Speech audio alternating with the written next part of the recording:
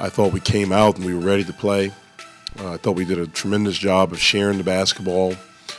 Uh, we were very unselfish. I thought in the first half we played good defense.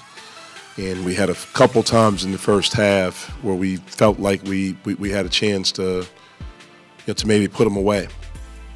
And we didn't do that. We relaxed a little bit and we let up.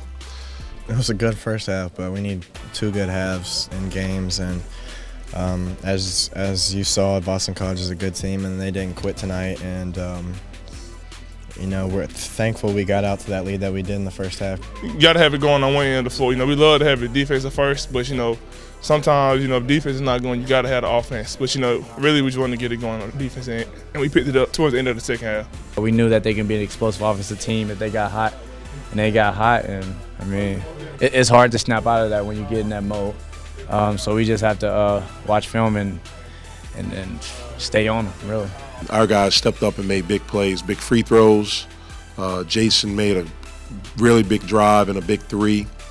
Uh, we were finally able to get some defensive stops. We made shots and our, our offense kept us going. Um, you know, they were still able to score the ball pretty well. So we need to do a better job of defending. Um, you know, our offense kept us in the game the whole game, and so um, de defense is where I, I, know we all like to see an improvement.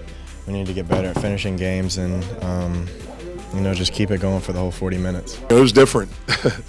I'd be lying if I said it wasn't. Um, but it was exciting, and it was exciting because these are our guys and that's that's what I'm about. You know, I, am never into me.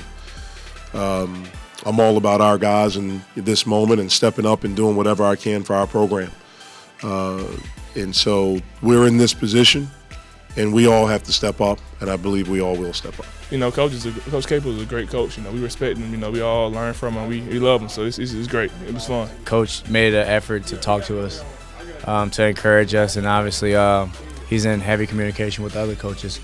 And then we know that, and we're confident in that they're all on one page. So whatever Coach Capel says is, is what Coach will say. And so uh, guys just are confident in that, and we just keep the uh, bus rolling until Coach gets back. It was a really hard fought, good win for us. Opportunity to learn and grow and get better. And I thought we did that this afternoon.